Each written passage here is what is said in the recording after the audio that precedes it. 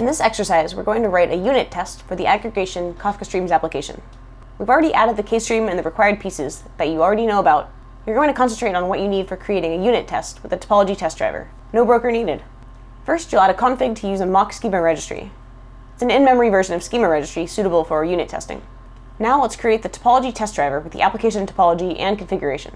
Note that it's done with try with resources block to ensure that the test driver gets closed at the end of the test. It's important to always close the topology test driver at the end to clean up any state. Next, create a test input topic with the topology test driver factory method create input topic. You'll use this in the test to drive input records into the Kafka Streams application.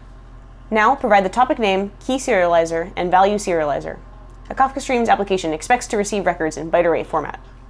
Next, you'll create a test output topic with another topology test driver factory method create output topic. The test output topic captures results from the Streams application under test. To complete the test output topic, add the output topic name, key deserializer, and value deserializer. The Streams application output is also in byte array format.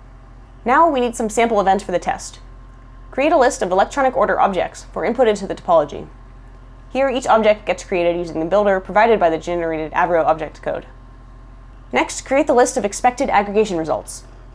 Note that the TTD does not buffer anything, so each input record emits a new update, similar to the behavior you'd be seeing by setting the cache to zero bytes in the Kafka Streams application.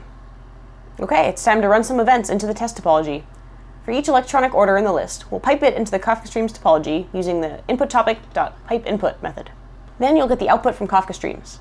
In this case, you'll read only the values output into a list with the output topic read values to list method, since we only care about the aggregation results.